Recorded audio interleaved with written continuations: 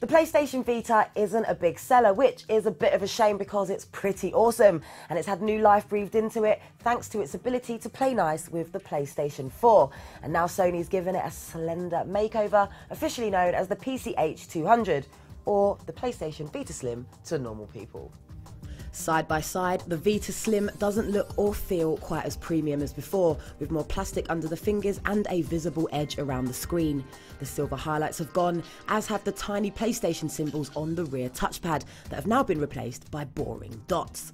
It doesn't look significantly smaller face on, but the 3.6mm cut to the depth is immediately obvious, and it's the new curvier shape and soft touch material that contributes most to making this a much nicer console to hold. The analog sticks, D-pad and symbol buttons are the same, but the PlayStation Select and Start buttons are now a little bigger and circular, which makes them a little easier to find while your eyes remain fixed on the screen.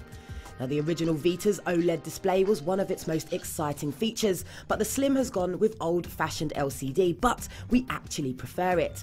The resolution remains the same at 960 by 544 pixels, and while the Vita's OLED certainly has deeper blacks, which has a sharpening effect on edges, the Slim's LCD digs up more detail in darkness, revealing objects and textures in dark scenes that the old Vita misses.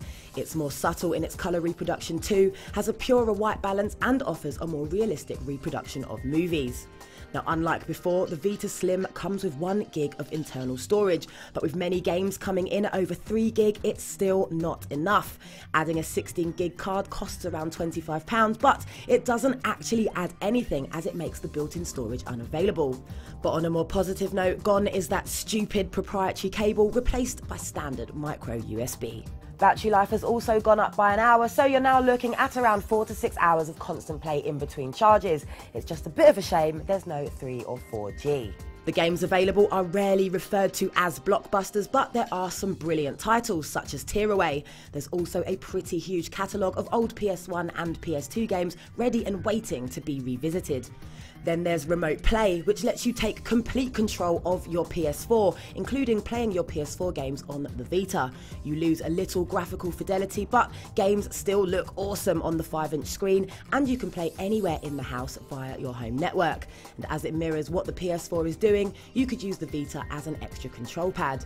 Best of all, you can control your PS4 from anywhere in the world as long as you've got Wi Fi internet access. Just remember, performance varies wildly depending on connection quality. And finally, there's a whole bunch of apps you're probably not going to use, such as Google Maps, email, and a camera, but the video section of the PlayStation Store, which has an ever expanding catalogue of movies and TV shows, could very well come in handy.